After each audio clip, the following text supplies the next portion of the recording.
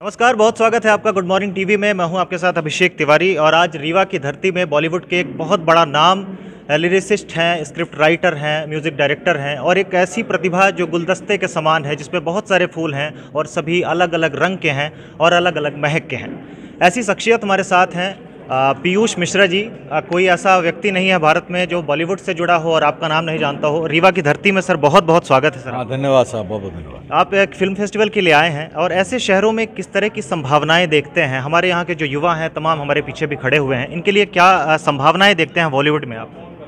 अरे संभावना संभावना बॉलीवुड बना इन लोगों से है मतलब जो बाहर के लोग हैं उनसे बना बॉलीवुड। क्या अमिताभ बच्चन क्या शाहरुख खान साहब बाहर के लोग हैं इंडस्ट्री कौन है? तो बाहर के लोगों से बना हुआ है बॉलीवुड। बॉलीवुड नहीं यार फ़िल्म इंडस्ट्री कही है हिंदुस्तानी फ़िल्म इंडस्ट्री कही है बॉलीवुड का ख़राब नाम लगता है। तो उन्हीं लोगों से बना है तो उनसे बन उनसे बन, बनता रहेगा हमेशा ऐसे लोगों की संभावना जहाँ पर जो है जीवित रहेंगी तो उनसे बनता रहेगा वो।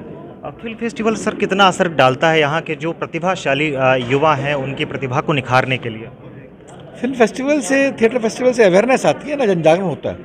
जन जागरण होता है अवेयरनेस आती है। अवेयरनेस आती है तो वो फ़ायदेमंद बात ही है।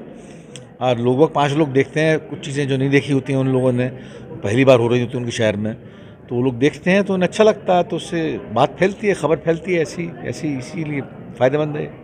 आप एक बहुत बड़े स्क्रिप्ट राइटर भी हैं और आज जब पुष्पा मूवी सामने आती है बाहुबली सामने आती है तब लोग एक आ, ऐसी नज़रों से बॉलीवुड को देखते हैं, हिंदी फ़िल्म सिनेमा को देखते हैं कि इनके पास अब उस तरह का लेवल नहीं बचा हुआ है। तो ऐसी चीज़ों पर आप क्या कहेंगे कि मतलब उस लेवल की फ़िल्में नहीं बन रही हैं यहाँ पर?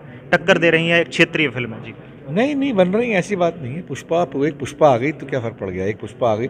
साउथ में है, साउथ में समझदार लोग हैं काफ़ी, लेकिन यहाँ भी कम नहीं है। लोग बाग लगातार लगातार लगे हुए हैं। यहाँ पर लोग बाग लगातार लगे हुए हैं। लगातार बढ़िया समय बन रहा है।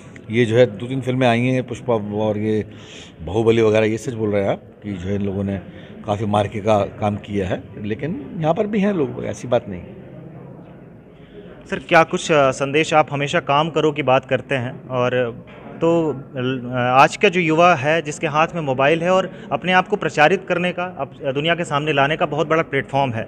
ऐसे दौर पर और क्या करना चाहिए कि हम या फिर ये बॉलीवुड में पहुँच सकें या फिर उस जगह में सिर्फ़ पहुँच काम करो और कोई बात नहीं सिर्फ़ काम करो। काम करने से सब कुछ हो जाएगा सब कुछ हो जाएगा। काम करते रहो काम अनवरत काम करते रहो उससे सब कुछ हो जाएगा। कोई टेंशन नहीं होगी काम करते रहो संभावना खुल जाएँगी। धीमे धीमे संभावना खुलती जाती हैं इस काम कर, करते रहने से।